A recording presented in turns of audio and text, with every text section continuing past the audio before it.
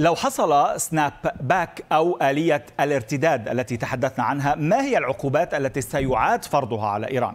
هناك الكثير منها سنركز على أبرزها فقط أولا العقوبات التي تتعلق بالبرنامج النووي تعليق جميع الأنشطة المتعلقة بالتخصيب وإعادة المعالجة بما في ذلك البحث والتطوير وحظر استيراد أي شيء يمكن أن يسهم في تلك الأنشطة أو في تطوير أنظمة إطلاق الأسلحة النووية أو في منعها من تطوير صواريخ باليستية قادرة على إطلاق أسلحة نووية. العقوبات المتوقع إعادة فرض أن يعاد فرضها. أيضا حظر سفر مسؤولين عن البرامج النووية والصاروخية الإيرانية وتجميد أرصدتهم.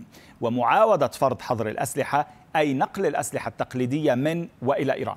فضلا عن استئناف فرض عقوبات محددة على عشرات الأفراد والكيانات الإيرانية. هذه فقط نبذة عن العقوبات التي تهدف أمريكا إلى إعادة فرضها. اللائحة الكاملة تشمل عشرات العقوبات الأخرى بتفاصيلها والتي تهدف إلى عزل إيران تماما عن المجتمع الدولي.